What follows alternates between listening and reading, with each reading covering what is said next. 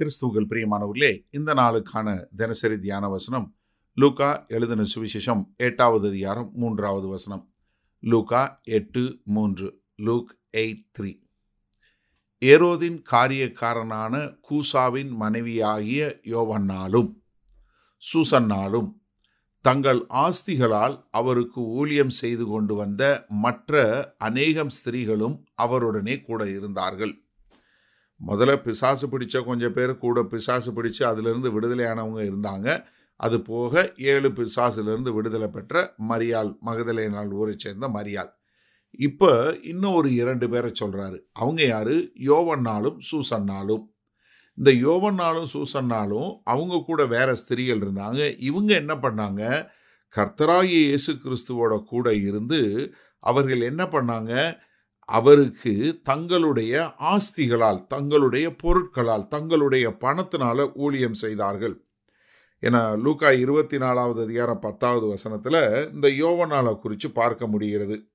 இவைகளை அப்போஸ்தலருக்கும் அப்போஸ்தலருக்கு சொன்னவர்கள் மகதலேனா மரியாலும் யோவன்னாலும் யாக்கோவின் தாயாகிய மரியாலும் இவர்களுடனே கூட இருந்த மற்ற ஸ்திரீகளுமே.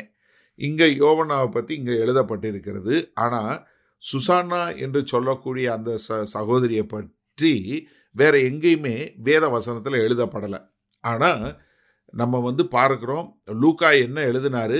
லூக்கா எல்லாருக்கிட்டையும் விசாரித்து அவங்க மூலமாக என்னென்ன நடந்ததுங்கிறத ஒரு ஒரு டிடெக்டிவ் மாதிரி ஒரு ஆராய்ச்சி செய்யக்கூடியவராக எடுத்து எழுதுறதுனால இந்த ரெண்டு பேரும் அந்த நாட்களில் ரொம்ப தெரிஞ்சவங்களாக இருக்கணும். ஏன்னா யோவனாளுடைய கணவன் யாரு? ஏரோதினுடைய காரியக்காரன். அப்போ அதனால் அவர் கொஞ்சம் நல்லா தெரிஞ்சவங்கங்கிறது நமக்கு ரொம்ப நல்லா தெரியுது. அது மாத்திரமல்ல இவங்க என்ன பண்ணுறாங்க தங்களுடைய ஆஸ்திகளால் ஆண்டவருக்கு ஊழியம் செய்கிறாங்க ஏன்னா அவர் சொல்லும்போது என்ன சொல்கிறாரு நீங்கள் எந்த பட்டணத்துக்கு போனீங்கனாலும் அவங்கள உங்களை ஏற்றுக்கொள்ளலைன்னா நீங்கள் அவங்ககிட்ட விட்டு போயிருங்க. ஒரு பட்டணத்தில் நீங்கள் போகும்போது அவங்களுக்கு உங்களுக்கு சாப்பிட கொடுத்தாங்கன்னா நீங்கள் சாப்பிடுங்க. ஏன்னா லூக்கா பத்தாவது அதிகாரத்தில் அதை குறித்து சொல்லிட்டாரு. ஆனால் இப்படி ஊழியம் சுவிசேஷ ஊழியம் பார்க்குறவங்களுக்கு ஒரு ரெட்டிப்பான கண கணத்தை கொடுக்கணுங்கிறது ஒரு சந்தேகம் இல்லை.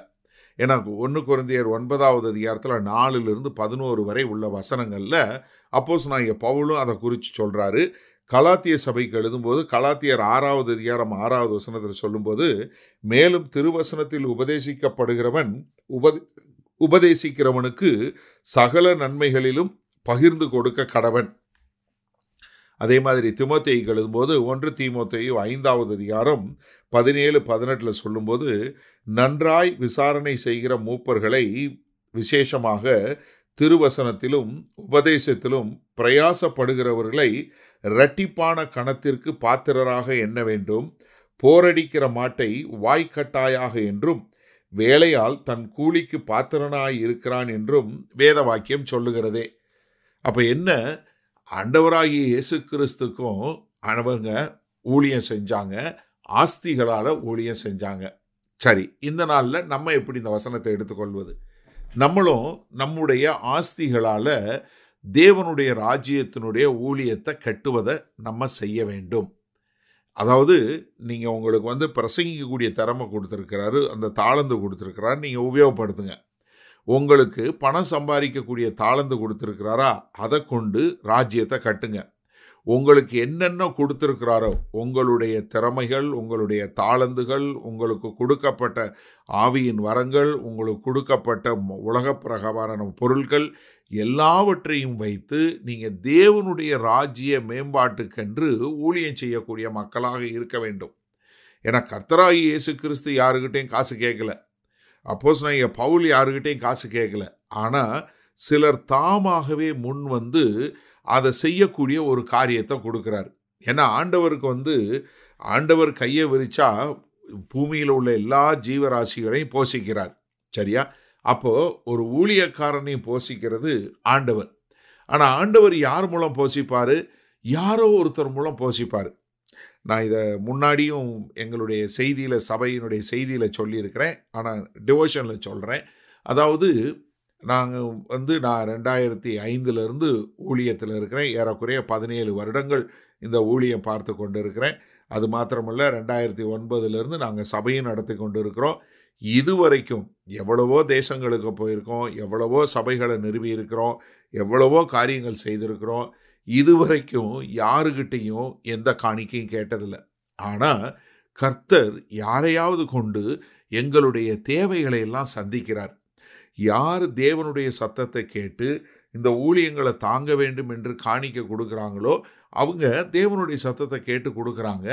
அப்போ தேவனுடைய ராஜ்ய மேம்பாட்டுக்கென்று உபயோகப்படுத்துகிறோம் அப்போ ஒருவேளை நீங்கள் ஊழியக்காரனாக இருந்தால் உங்களுடைய தேவைகள் தேவனுக்கு தெரியும். நீங்கள் நான் அண்ணே நான் ஊழியம் இல்லை செய்யலனே ஆனாலும் நீங்கள் ஆண்டவர்கிட்ட கேளுங்க.